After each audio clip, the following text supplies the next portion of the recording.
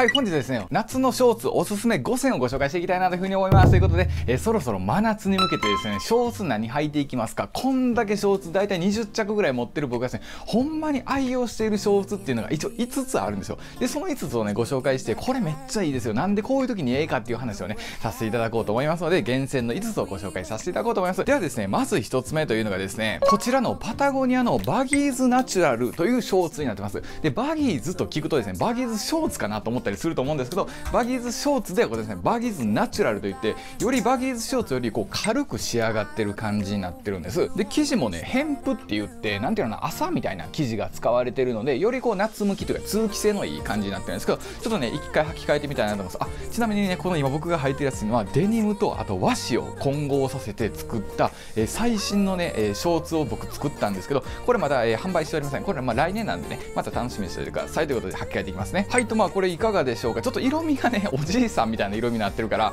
まあどうかなと思うんですが上のね、えーと、トップスをこうブラックに変えてあげたりするとギュッとこう引き締まってきますので、まあ、色味的には問題ないとは思うんですがこれ何がええかというとねとにかく軽いんですよだからもう蒸れる心配とかもないしアウトドアのショーツでねありがちなこういったバギーズショーツとかって車とか乗ってたらねこの太ももの裏側の部分と車のシートの間に汗できません？熱なってきてここは僕よう汗汗かくんですよ。ただこういったナイロン素材とかって汗吸収しないんですよね。だから熱くてこうビチャビチャなってる感じっていうのがあるんやけどもこういった偏布の素材ってめちゃくちゃね汗も吸ってくれるんですよ。だからこう暑いなとかって思ったりした時でもちゃんとこう汗を吸収してくれるしなおかつ通気性もいいということでね、えー、こちら今回厳選の、えー、ショーツベスト5のうちの一つとして選ばせていただきました。でまあこれねちょっとネタバレになるんですけどもね僕個人的にはねこうライナーがついてるタイプこの中にこうメッシュがついてるタイプって年々あんまり履かんくなっていったんですよ。だから今回ご紹介する5つっていうのは、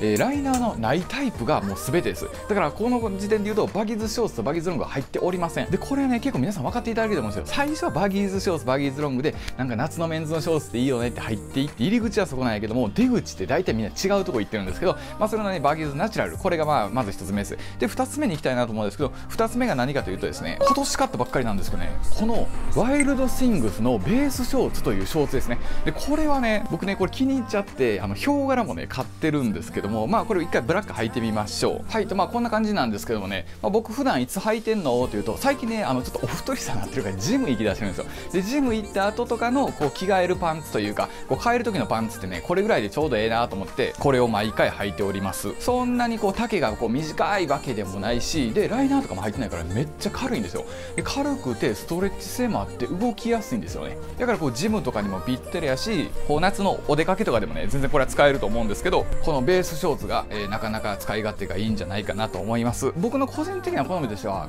これよりもうちょっと短い方が好きなんですよ。丈がね。もうちょっと短い方が好きなんやけどもまあまあこれぐらいやったら許容範囲かなっていうことで、ね、あんまり長すぎるとね次足短く見えるでしょ。だからあんまりね長いの好きじゃないんやけどもまあこれぐらいやったらギリギリかなということで、えー、こちらベースショーツが、えー、激戦の2つ目ということになっておりました。そしてね次3つ目いきたいなと思うんですですけど3つ目がですねまあこれはもう言わずもがななんですけどもね、えー、こんなとこに入れるの申し訳ないかなと思ったんやけども一応入れときます、えー、ノーセースの、え、バーサタイルショーツというショーツです。もうこれに関しては大きく言う必要ないから一回履きますね。はい。とまあこんな感じですね。まあこのショーツのねええー、とこっていうのはねあのまあ横にちょっと身幅に余裕があるので結構風通るんですよね。だから涼しく履けるっていうのもそうやしそれ以外には水陸両用なんで海とか僕結構バーサタイルショーツ履くんですけども海でね例えばこう海水浴するとかサーフィンするっていう時はもうこれこのまま履いていっちゃってそのまま乾かして T シャツだけをパッてかぶっちゃってねもうその変えるっていうのってめちゃくちゃ便利じゃないですか。荷物少ないのええでしょ。だからこのねバーサタイルショーツは僕そんな感じでよく、えー、使ったりしてるんですけども最近はねそれこそいろいろこうええやつが出てきてるからちょっと出番減ってきてますけども去年とか一昨年はねもうずっとこれ毎日ばっかり履いてたんで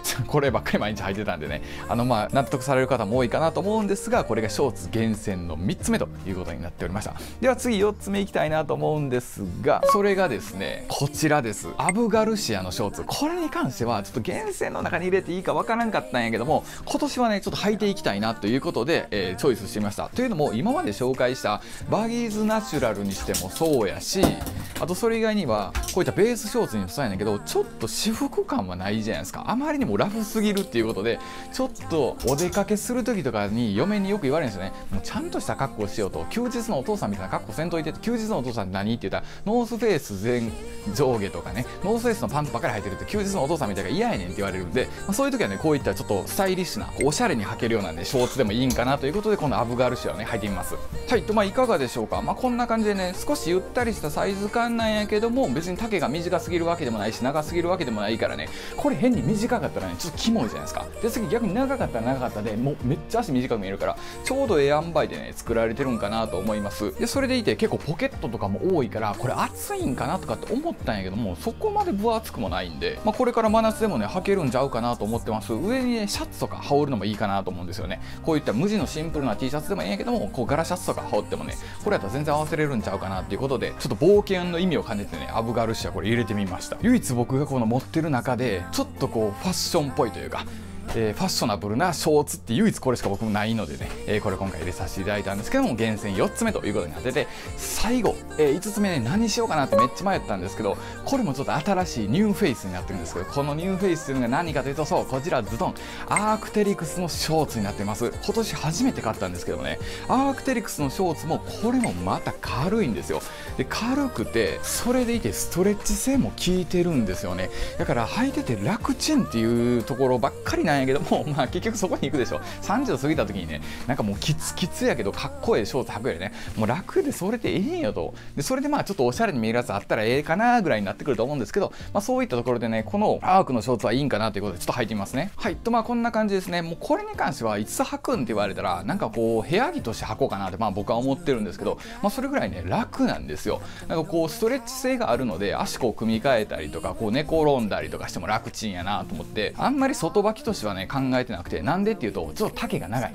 僕あんまり丈長いの先も言ったがあんま好きじゃないということでもうちょっとこう上にあったらええんやけどもここまで長いとちょっと暑苦しいし実際暑いしっていうことでこう家用としてねガシガシ履いていきたいななんていうふうには思っております。まあただ値段的にはねこれが一番高いんかな。これかさっきのアブガルシアが一番高いで1万3000円か2000円ぐらいするので家用にしてはちょっと豪華な気はせんでもないんやけどもまあどうせ買っちゃったしね、まあ、使い道としては家用が一番いいかなということでね今回この5選を紹介させていただきました。でまあ最初も言ったみたいにバギースショーツとかロングがやっぱ入らへん理由としてはやっぱりこの中のライナーなんですよね。でライナーって別に悪くないやんって思う方もねはいはい分かりますよ。それはねおっしゃってること分かるんですけども真夏は暑い。特にもうこれから7月でね梅雨が明けた時にこんなライナーついててでショーツ履いたりしたらもう暑うてしゃあないんですよ。だから結局はこのバギーズショーツがかっこよくてメンズショーツに入っていったんやけどもあなんかライナーってやっぱ暑いなっていうことでね今紹介したこの辺りになってくるんかなと思います、えー、なので振り返っていくとね、えー、これ楽ちんパンツね。これはまあ家でも私服でも別にいけるんやけども、まあ、僕結構家で履いちゃってるからちょっと毛玉出てきましてくるんでね、